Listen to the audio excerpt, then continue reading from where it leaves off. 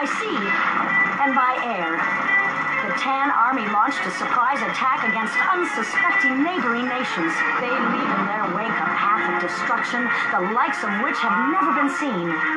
In once proud townships have fallen under the tyrannical boot heel of General Plastro, the Tan Nation's ruthless dictator whose vision is to be the supreme ruler of all the world.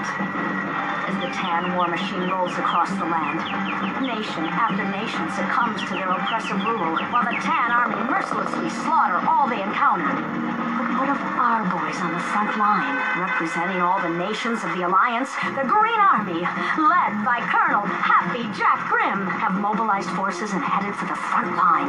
And we will not stop until General Plastro and his Tan army are defeated. Outnumbered, the Green Army fights tooth and nail to preserve our freedom.